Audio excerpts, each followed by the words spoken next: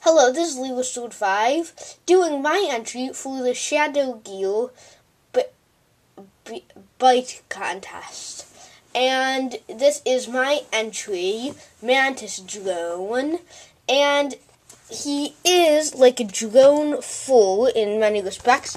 I actually just took the old design and revamped it a bit.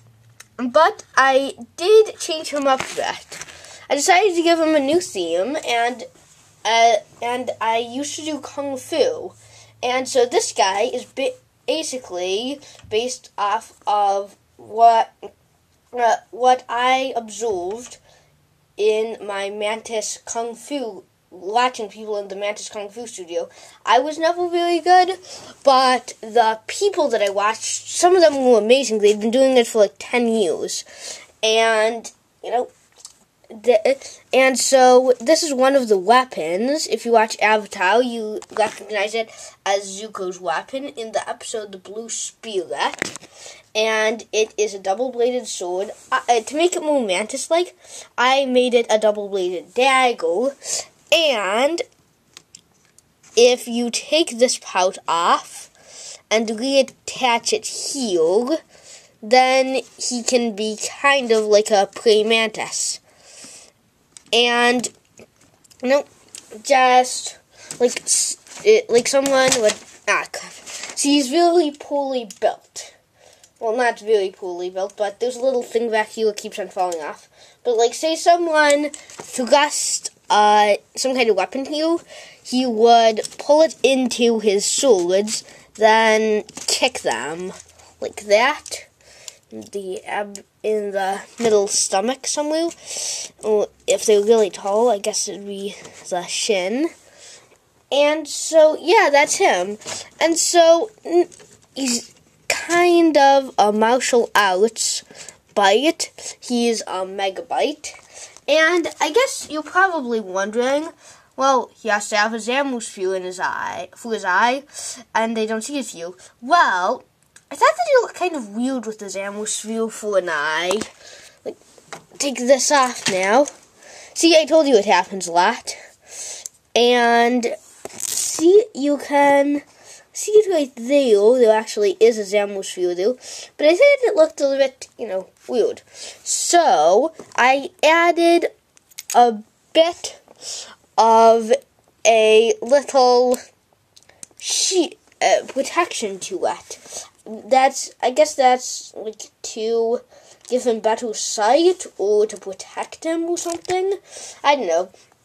So basically, he is a but he's a megabyte that has been programmed that has been upgraded past the normal byte level and programmed with d- uh, different kung, uh, kung fu mantis moves. And so, let's get him in a better pose. So, yeah, that's him.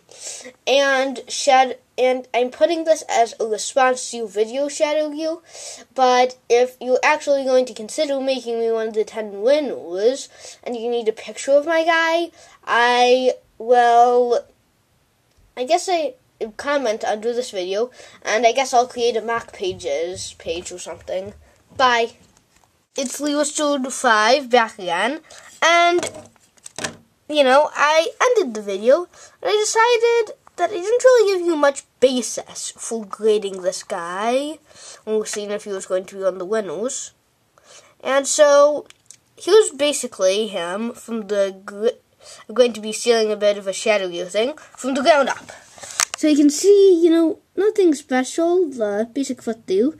Then two studs stuck onto a Vahki thing. And then, wait one second, I put two of those modified hand pieces together. Then use one of these black pieces right here and a little uh, Nuva chest armor right there to create the upper thigh, or basically the thigh. Then the stomach is really just a bunch of little these pieces going up this way. Then a Zamor sphere built into the body frame right here. Then we get a Bohrok tooth right here. Then going down the arms, some gears behind there. Uh, what's it called? Um, uh, Rahkshi limb. And then, you know, the swords, I already talked about that. Underneath them, you can see the little device for him holding them, and the Bohrok tooth. And so right here, his head, it, you can see the two drawers behind there. It's basically a Zamor sphere holder with this thingy in front, and two little lights on each side. Go on the back here, you can kind of see as I said, the jewels and a little stud. Stud on the side. So yeah, that's basically him. Hope that you choose me, Shadow